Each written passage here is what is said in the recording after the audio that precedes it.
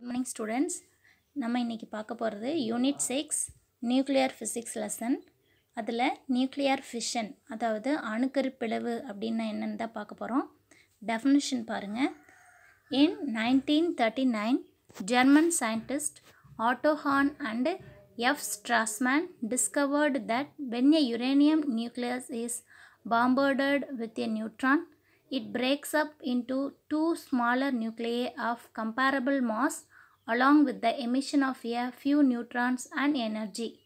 அதாவது ஆயிரத்தி தொள்ளாயிரத்தி முப்பத்தி ஒன்பதில்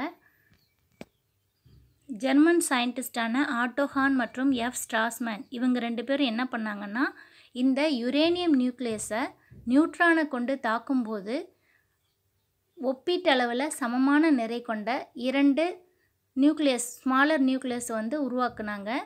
அந்த நியூக்ளியஸும் ப்ளஸ் அதிலிருந்து சில நியூட்ரான்களும் ஆற்றலும் வெளிப்பட்டுச்சு. இதை தான் என்னன்னு சொல்கிறாங்கன்னா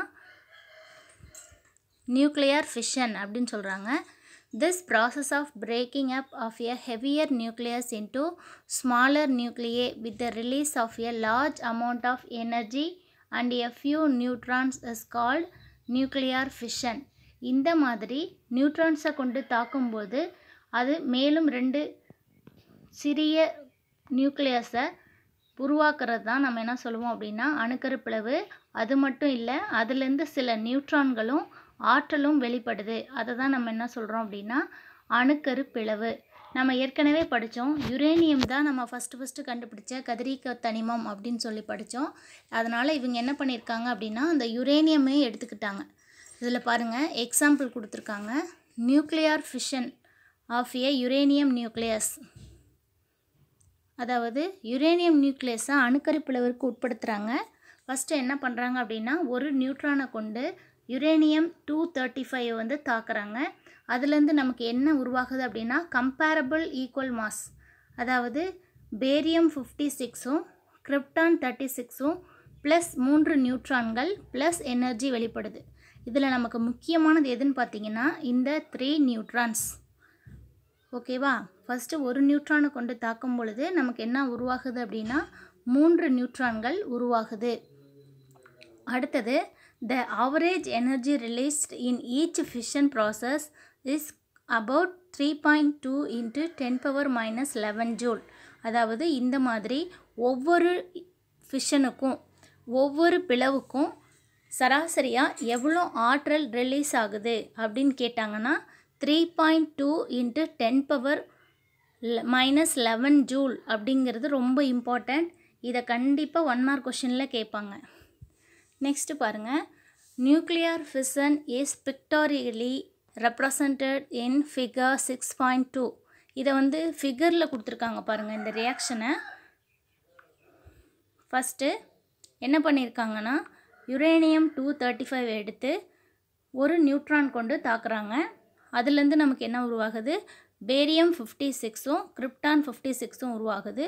இதில் பாருங்கள் அந்த நியூட்ரான் கொண்டு தாக்கும்போது எவ்வளவு ஆற்றல் வெளிப்படுதுன்னு பாருங்கள் இருநூறு மில்லியன் எலக்ட்ரான் வோல்ட் ஆற்றல் வெளிப்படுது. ப்ளஸ் எத்தனை நியூட்ரான்கள் வெளிவருது?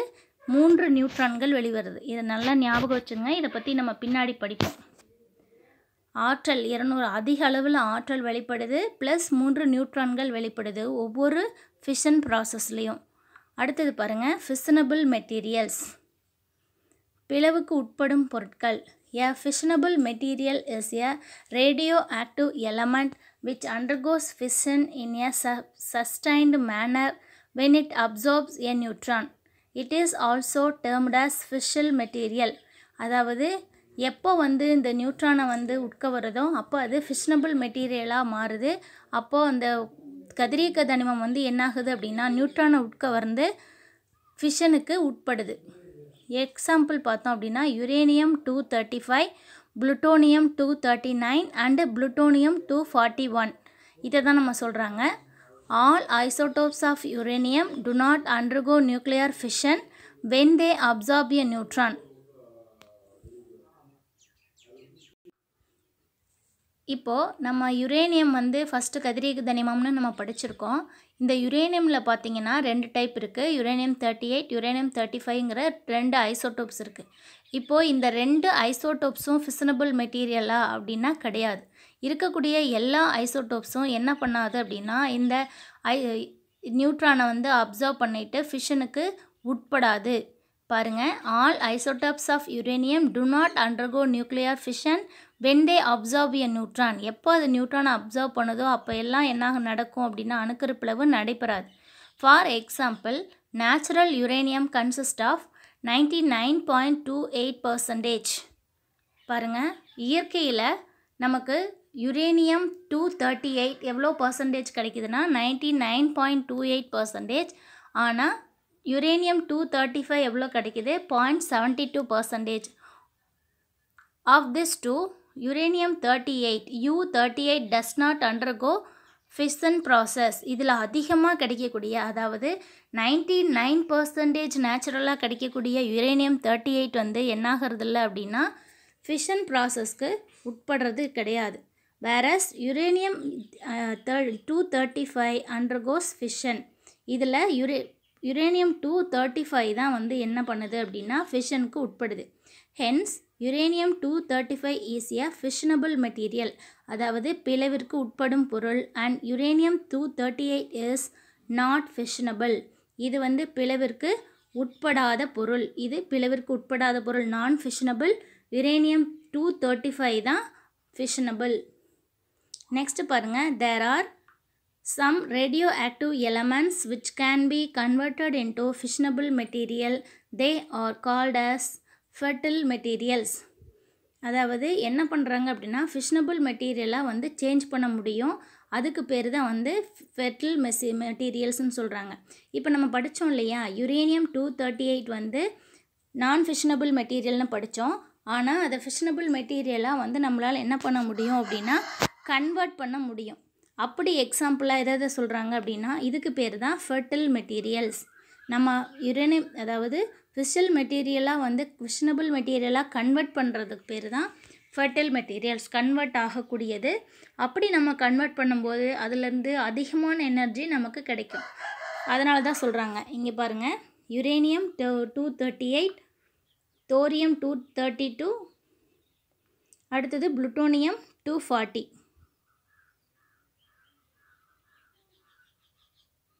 next chain reaction இந்த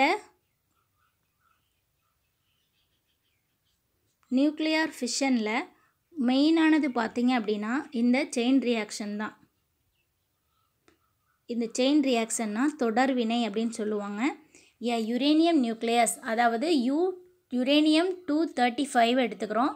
When bombarded with a neutron undergoes fission producing three neutrons இந்த uranium two thirty five nucleus எடுத்துக்கிட்டு அதில் நியூட்ரானை கொண்டு நம்ம தாக்கும் பொழுது அதுலேருந்து எத்தனை நியூட்ரான்கள் வந்து வெளிப்படுதுன்னு பார்த்தீங்கன்னா த்ரீ நியூட்ரான்ஸ் வந்து வெளியில் வருது. This three neutrons in turn can cause fission in three other uranium nuclei present in the sample thus producing nine neutrons அதாவது நம்ம சாம்பிள் வச்சுருக்கோம். அந்த சாம்பிளில் ஃபஸ்ட்டு ஒரு யுரேனியம் நியூக்ளியஸை ஒரு நியூட்ரானை கொண்டு தாக்குறோம். அதுலேருந்து மூன்று நியூட்ரான்கள் வந்து வெளிப்படுது. ஃபஸ்ட்டு என்ன பண்ணுறோம் ஒரு ஒரு நியூட்ரானை கொண்டு தாக்குறோம். அடுத்தது என்னாகுது அப்படின்னா மூன்று நியூட்ரான்கள் வந்து வெளிப்படுது. அந்த மூன்று நியூட்ரான்களும் என்ன பண்ணுது அப்படின்னா மூன்று வகையான யுரேனியம் சாம்பிள்ஸை வந்து தாக்குது. அதுக்கப்புறம் என்ன ஆகுதுன்னா இதிலிருந்து மறுபடியும் எத்தனை வருது? த்ரீ த்ரீ இதிலேருந்து த்ரீ இதிலேருந்து த்ரீ. அப்போ டோட்டலாக நைன் உருவாகுது. இந்த மாதிரி மல்டிபிள் அளவில் மூன்று மறுபடியும் ஒன்பது ஆகுது ஒன்பது இருபத்தி ஏழு ஆகுது இருபத்தி ஏழு அதனுடைய த்ரீ மல்டிபிள்ஸ் ஆகுது. இந்த மாதிரி என்ன ஆகுதுன்னா சடனாக இன்க்ரீஸ் ஆகிக்கிட்டே போகுது. இதை தான் நம்ம என்ன சொல்லுவோம் அப்படின்னா செயின் ரியாக்ஷன் சொல்லுவோம். இதில் பாருங்கள் these nine neutrons in turn may produce twenty seven neutrons and so on this is known as chain reaction இந்த மாதிரி உருவாகக்கூடியது தான் என்னதுன்னா தொடர்வினை chain reaction a chain reaction is a self propagating process in which the number of neutrons goes on multiplying rapidly almost the geometrical progression இந்த மாதிரி மல்டிப்ளையிங்காக போய்கிட்டு இருக்கிறது தான் நம்ம என்ன சொல்லுவோம் அப்படின்னா செயின் ரியாக்ஷன் அப்படின்னு சொல்லுவோம். இதில் டூ டைப்ஸ் இருக்குது two kinds of chain reaction are possible. They are controlled chain reaction and uncontrolled chain reaction பாருங்கள் controlled chain reaction uncontrolled chain reaction first நம்ம பார்க்குறது கண்ட்ரோல்டு செயின் ரியாக்ஷன் அதாவது கட்டுப்பாடான தொடர்வினை கட்டுப்பாடான தொடர்வினை அப்படின்னா இதை வந்து நம்ம என்ன பண்ணுவோம் அப்படின்னா நம்ம செயற்கையாக வந்து உருவாக்குவோம். பாருங்கள் இந்த controlled chain reaction the number of neutrons release is maintain to be one அதாவது இப்போ நம்ம படித்தோம் இல்லையா ஒரு நியூ ஒரு நியூக்ளியஸை ஒரு நியூட்ரானை கொண்டு தாக்கும் பொழுது வெளிவரக்கூடியது மூன்று நியூட்ரான்கள்னு படித்தோம் அந்த மாதிரி அந்த மூன்று நியூட்ரான்கள் திருப்பி என்னாகுது? மூன்று நியூக்ளியஸை அட்டாக் பண்ணி அதுலேருந்து மூணு மூணு மொத்தம் ஒன்பது உருவாகுதுன்னு படித்தோம் இதில் அந்த மாதிரி மல்டிப்ளை ஆகிறதுக்கு விடாமல் வெளிவரக்கூடிய அந்த மூன்று நியூட்ரான்களில் ஒன்றை மட்டும் அலோவ் பண்ணிவிட்டு மீதி ரெண்டு நியூட்ரான்களை நம்ம என்ன பண்ணிடுறோன்னா அப்சர்வ் பண்ணிடுறோம். உறிஞ்சிடுறோம். This is achieved by absorbing the extra neutrons with a neutron absorber leaving only one neutron to produce further fission இதில் பாருங்கள் இந்த கண்ட்ரோல்டு செயின் ரியாக்ஷனில் நம்ம என்ன பண்ணுறோம் அப்படின்னா வெளிவரக்கூடிய மூன்று நியூட்ரான்களில் ஒன்லி ஒன் நியூட்ரான் ஒரு நியூட்ரானை மட்டும் வெளிவிட்டுட்டு மீதி இருக்கக்கூடிய இரண்டு நியூட்ரா எக்ஸ்ட்ரா நியூட்ரான்ஸை வந்து என்ன பண்ணிடுறோம் அப்படின்னா நியூட்ரான் அப்சார்பரை வச்சு நம்ம அப்சர்வ் பண்ணிடுறோம்.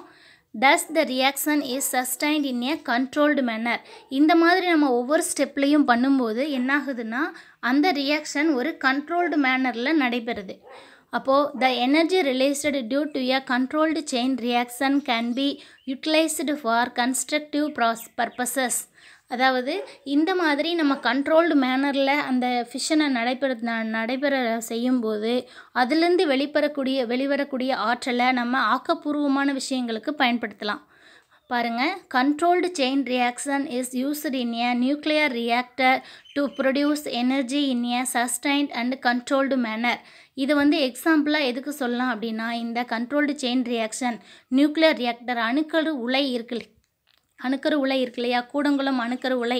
அதில் எக்ஸாக்டாக எது யூஸ் பண்ணுறாங்க அப்படின்னா இந்த யுரேனியம் டூ தேர்ட்டி எயிட்டை தான் யூஸ் பண்ணுறாங்க இந்த யுரேனியம் டூ தேர்ட்டி ஃபைவ் அதை வச்சு தான் டூ தேர்ட்டி எயிட்டை வச்சு தான் நம்ம என்ன பண்ணுறாங்க அப்படின்னா இந்த கண்ட்ரோல்டு செயின் ரியாக்ஷனாக நடைபெற்று அதுலேருந்து இந்த நியூக்ளியர் நியூ நியூட்ரான் அப்சார்பரெல்லாம் பயன்படுத்தி ஒரு ஒரே நியூட்ரானை மட்டும் அதுக்கு வந்து வினைக்கு உட்படுத்தப்பட்ட வச்சு அதுலேருந்து வெளிக்கு வரக்கூடிய ஆற்றல்லேருந்து தான் நமக்கு என்ன தயாரிக்கிறாங்க? கரண்ட்டு தயாரிக்கிறாங்க. இதுக்கு எக்ஸாம்பிள் பெஸ்ட் எக்ஸாம்பிள் பார்த்தீங்க அப்படின்னா கண்ட்ரோல்டு செயின் ரியாக்ஷனுக்கு எக்ஸாம்பிள் நியூக்ளியர் ரியாக்டர் அணுக்கரு உலை. அடுத்தது பாருங்கள் அன்கண்ட்ரோல்டு செயின் ரியாக்ஷன். இந்த அன்கண்ட்ரோல்டு செயின் ரியாக்ஷன் அதாவது கட்டுப்பாடற்ற தொடர்வினை the number of neutrons multiplying identity indefinitely and causes fission in a large amount of fissile material this results இந்த release of a huge amount of energy இது வந்து என்ன சொல்கிறாங்கன்னா கட்டுப்பாடற்ற தொடர்வினை இது வந்து என்ன ஆகிக்கிட்டே இருக்கும்னா தொடர்ந்து மல்டிப்ளை ஆகிக்கிட்டே இருக்கும். அப்போ அதுலேருந்து என்ன ஆகுது? ஒரு சாதாரண ஒரே ஒரு நியூட்ரானை கொண்டு தாக்கும் பொழுது நமக்கு என்ன கிடச்சிது? யூ யுரேனியம் டூ தேர்ட்டி ஃபைவை ஒரே ஒரு நியூட்ரானை கொண்டு தாக்கும்போது நமக்கு எவ்வளோ கிடச்சிது? Two hundred million electron volt அளவு ஆற்றல் வெளிப்பட்டுச்சு. ஒரே ஒரு நியூட்ரானை கொண்டு தாக்கும்போது மறுபடியும் அடுத்த மூன்று நியூட்ரான்களை கொண்டு தாக்குறோம். அதுலேருந்து எவ்வளோ எனர்ஜி வெளிப்படும்? அதுக்கப்புறம் ஒன்பது நியூட்ரான்கள் அடுத்தது இருபத்தி ஏழு நியூட்ரான்கள் அப்படிங்கும்போது அதனுடைய எனர்ஜி லெவல் வந்து ரொம்ப ரொம்ப அதிகமான அளவு என்ன ஆகிட்டே போகும்? இன்க்ரீஸ் ஆகிக்கிட்டே போகும். அதை தான் இங்கே சொல்கிறாங்க this kind of chain reaction is used in the atom bomb to produce and explosion இந்த மாதிரியான அன்கண்ட்ரோல்டு செயின் ரியாக்ஷன் இதுக்கு பெஸ்ட் எக்ஸாம்பிள் எதுன்னு பார்த்தீங்க அப்படின்னா இந்த ஆட்டம் பாம் ஆட்டம் பாம் அதாவது ஆட்டம் பாம் அணுக்கரு வெடிப்பு அதாவது அணுகுண்டு வெடிப்பு அப்படிங்க அணுகுண்டு வெடிப்பை வந்து சொல்லலாம்.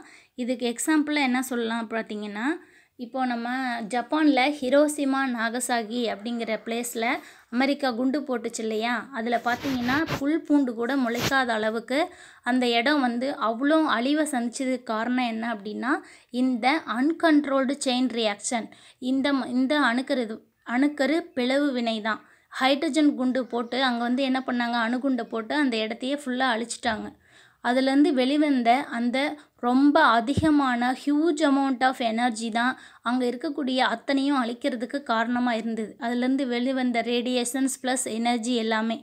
பாருங்கள் இதில் நியூட்ரான் ஃபஸ்ட்டு ஒரு நியூட்ரானை கொண்டு தாக்கும்போது வழிவரக்கூடியது என்ன சொல்லுவோம் அப்படின்னா ஃபஸ்ட்டு நியூட்ரான் ஜெனரேஷன் அடுத்து செகண்டாக உருவாகக்கூடிய இந்த நியூட்ரான்களுக்கு பேர் செகண்ட் நியூட்ரான் ஜெனரேஷன் அடுத்து தேர்டாக உருவாகக்கூடியதுக்கு தேர்டு நியூட்ரான் ஜெனரேஷன் அப்படின்னு சொல்கிறாங்க இது வந்து எக்ஸாம்பிள் எது எதுக்கு பார்த்தீங்க அப்படின்னா ஆட்டம் பாம் தான் இந்த அன்கண்ட்ரோல்டு செயின் ரியாக்ஷனுக்கு பெஸ்ட் எக்ஸாம்பிள் நெக்ஸ்ட் பாருங்கள் critical mass during a nuclear fission process அதாவது அணுக்கரு பிளவு வினையின் போது about two two to three neutrons are released நம்ம படித்தோம் த்ரீ நியூட்ரான்ஸ் வந்து வெளிப்படும் இரண்டு அல்லது மூன்று நியூட்ரான்கள் வெளிப்படும்.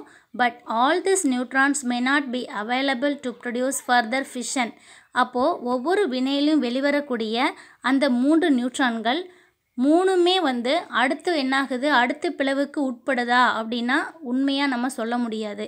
Some of them may escape from the system அந்த மூணில் ஏதாவது ஒன்று எஸ்கேப் ஆயிடலாம் அந்த சிஸ்டத்துலேருந்து which is termed as leakage of neutrons அந்த மாதிரி எஸ்கேப் ஆகிறதுக்கு பேர் என்னது? நீ லீக்கேஜ் ஆஃப் நியூட்ரான்ஸ்னு சொல்லுவாங்க. அது இங் தமிழ் என்ன சொல்லுவாங்கன்னா நியூட்ரான் கசிவு. Some may be absorbed by the non fissionable materials present in the system அதாவது சில மேலும் சில நியூட்ரான்கள் என்ன ஆகுது அப்படின்னா நான் ஃபிஷனபிள் மெட்டீரியல்ஸால் அப்சர்வ் உறிஞ்சப்படும். அந்த நான் ஃபிஷனபிள் மெட்டீரியல்ஸ் அதாவது பிளவுக்கு உட்படாத பொருட்கள் வந்து உறிஞ்சிருச்சுன்னா அதுலேயும் எந்த யூஸும் கிடையாது. இந்த மாதிரி வெளிவரக்கூடிய அந்த மூன்று நியூட்ரான்களுமே அடுத்து மறுபடியும் ஃபிஷனுக்கு உட்படுதா அப்படிங்கிறது டவுட்டு தான். This two factors lead to the loss of neutrons இந்த இரண்டு காரணங்களும் என்ன பண்ணுது அப்படின்னா நியூட்ரான்களினுடைய இழப்பிற்கு காரணமாக இருக்குது. To sustain the chain reaction the rate of production of neutrons due to clear nuclear fission must be more than that of rate of its loss அதாவது என்ன சொல்கிறாங்க அப்படின்னா இப்படி வெளி கசிக்கு கசியக்கூடிய நியூட்ரான்கள் வந்து எப்போவுமே அதில் இருக்கக்கூடிய நியூக்ளியர் ஃபிஷன் அணுக்கரு பிளவிற்கு உட்படுறதை விட குறைவாக இருந்துச்சுன்னா பிரச்சனை இல்லை அதிகமாக இருந்துச்சு அப்படின்னா அடுத்த பிளவுகள் வந்து கரெக்டாக நடைபெறது குறைஞ்சி போயிடும் this can be achieved only when the size of the fissionable materials is equal to a certain optimum value this is known as critical mass இந்த மாதிரி நியூட்ரான் கசிவு ஏற்பட்டாலும் அடுத்து அந்த நியூ மீதி இருக்கக்கூடிய நியூட்ரான்கள் வந்து ஃபிஷனுக்கு உட்படும் போது அதில் இருக்கக்கூடிய அந்த நியூக்ளியஸ் வந்து ஒரு குறிப்பிட்ட நிறைவுடையதாக இருக்கணும். அந்த குறிப்பிட்ட நிறை இல்லாமல் இருந்துச்சு அப்படின்னா அந்த ஃபிஷன் ப்ராசஸ் கரெக்டாக நடக்காது. ஒன்று அதுலேருந்து வெளிவரக்கூடிய எனர்ஜி குறையலாம். இல்லை அந்த ஃபிஷன் ப்ராசஸ் மறுபடியும் வந்து கண்டினியூவாக செயின் ரியாக்ஷனாக கண்டினியூ ஆகிறது வந்து என்னாகும் அப்படின்னா தடைப்படும். இதுக்கு இந்த மாதிரியான அந்த ஆவரேஜ் வெயிட் கிரிட்டிக்கலாக இருக்கக்கூடிய அந்த மாறுநிலை நிறை அப்படின்னு சொல்லுவாங்க. அந்த மாறுநிலை குறிப்பிட்ட அளவு கிரிட்டிக்கல் மாஸ் இருந்தால் தான் என்னாகும் அப்படின்னா அந்த மெட்டீரியல் வந்து ஃபிஷ்னபிள் மெட்டீரியலாக இருக்கும். அதுக்கு பேர் தான் ஆப்டிமம் வேல்யூ அதாவது fissionable materials is equal to a certain optimal optimum value fissionable மெட்டீரியல்னால் அது இந்த அளவுக்கு குறைஞ்சது எடை இருக்கணும் அப்படிங்கிறது தான் இதனுடைய அர்த்தம். பாருங்கள் the minimum mass of a fissile material necessary to sustain the chain reaction is called critical mass இதுக்கு பேர் தான் கிரிட்டிக்கல் மாஸ் ஒரு குறிப்பிட்ட அளவு இருக்கிறது. அதை எப்படி சொல்லுவாங்கன்னா MC it depends on the nature density and the size of the fissile material இது எதெல்லாம் டிபெண்ட்ஸ் பண்ணி இருக்கும் அப்படின்னா அதனுடைய நேச்சர் அதனுடைய அடர்த்தி அதனுடைய சைஸ் இது மூன்றையும் சார்ந்திருக்கும். எது அப்படின்னா கிரிட்டிக்கல் மாஸ் நெக்ஸ்ட்டு பாருங்கள் மாறு கிரிட்டிக்கல் மாஸ்னால் மாறுநிலை நிறைன்னு சொல்லுவாங்க.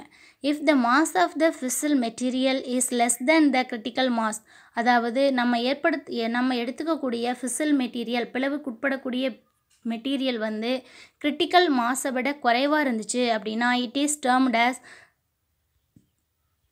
critical if the mass of the the material is more than the critical mass it is termed as super critical அதாவது அந்த மாறுநிலை நிறை கிரிட்டிக்கல் மாஸை விட நம்ம எடுத்துக்கக்கூடிய பிளவுக்குட்படக்கூடிய மெட்டீரியல் அதிகமாக இருந்துச்சு அப்படின்னா மாஸ் அதிகமாக இருந்துச்சுன்னா சூப்பர் கிரிட்டிக்கல்னு சொல்லுவோம். குறைவாக இருந்துச்சுன்னா சப் கிரிட்டிக்கல்னு சொல்லுவோம்.